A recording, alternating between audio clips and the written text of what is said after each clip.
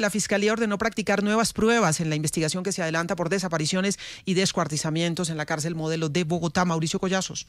Sumado a las inspecciones judiciales realizadas en las instalaciones de la cárcel nacional modelo en Bogotá, la Fiscalía también expidió órdenes de policía judicial para conocer el listado de los directores y guardianes que para la época de los hechos de 1999 a 2001 trabajaron en ese penal. Luego de ello, la Fiscalía buscará que algunos de estos funcionarios y exfuncionarios puedan suministrar información sobre los graves hechos de desapariciones y descuartizamientos registrados en la cárcel modelo en Bogotá. Al respecto, el director de la Unidad de Justicia Transicional, Carlos Villamil. Más lo que se ha encontrado en justicia ordinaria, más lo que se ha encontrado en las inspecciones y en las diferentes labores investigativas, estos procesos van a ir avanzando y de ahí que resulta trascendental en este momento eh, darle impulso a las investigaciones. Asimismo, la Fiscalía solicitó copia de los mapas de la cárcel modelo y las distintas modificaciones que ha tenido este centro penitenciario en los últimos años, con el objetivo de definir posibles trabajos de exhumación.